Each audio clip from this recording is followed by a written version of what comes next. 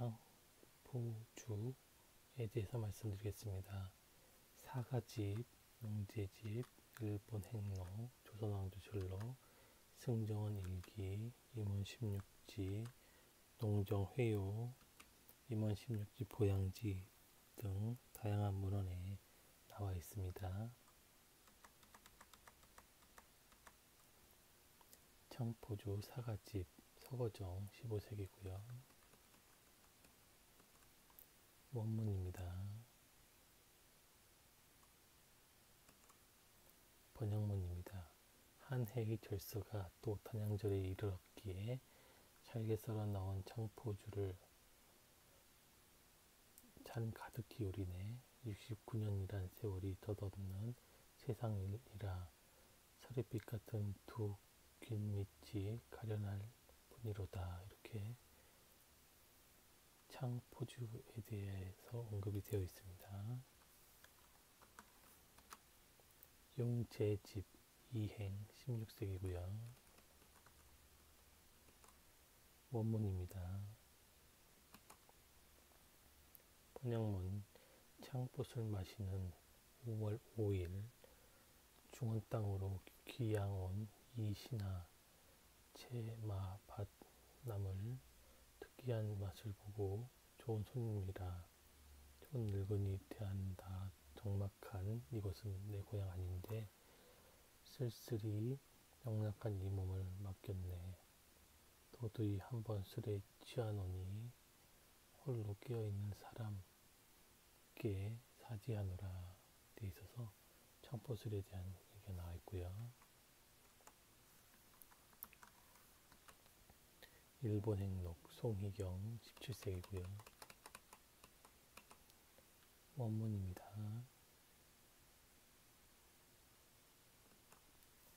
번역문입니다. 단호 청포주를 권한다. 부세의 광음이 나날이 재촉하니 객중에서 절기오물 어이 보려나 이역의 옛절에서 단호를 만났는데 든전이 은근히 약수 를 원하네 이렇게 되어 있습니다. 조선왕조실록 저자미상 15에서 19세기 원문입니다. 번역문 단오날에 내자시에서 관례대로 창포주를 올리고 육조에서 물선을 올리니 상이 한제가 한창 혹심하다는 이유로 받지 않았다. 예조가 굳이 청하였으나 상이 끝내 윤호하지 않았다. 이렇게 나와 있습니다. 승정원 일기, 승정원 19세기 창포주의 원문입니다. 번역문입니다. 또 아래기를 양전과 양궁에 올리는 1차주를 전교로 인하여 전파하였습니다.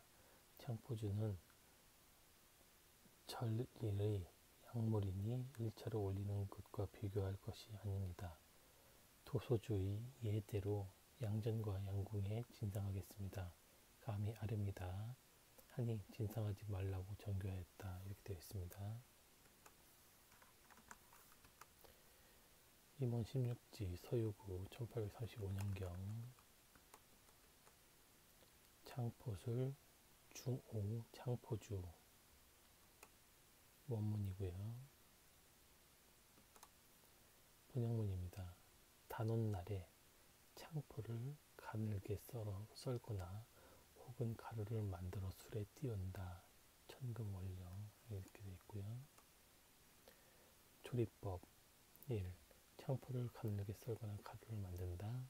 2. 술 위에 띄운다. 되어 있습니다.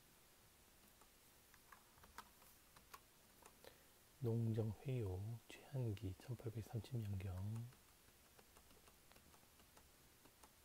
원문입니다.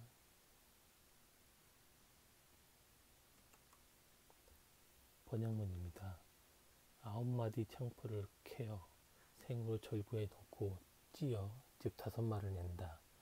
찹쌀 다섯 말로 밥을 짓고 고운 후 다섯 근과 함께 골고루 섞어준 다음 자기 단지에 넣고 밀봉하여 21일 되면 열어 따뜻하게 복용하는데 하루에 세 번 복용한다. 이 술을 마시면 혈맥이 잘 통하고 위를 보해주며 풍비, 관절 풍습통, 류머티스 같은 거네요.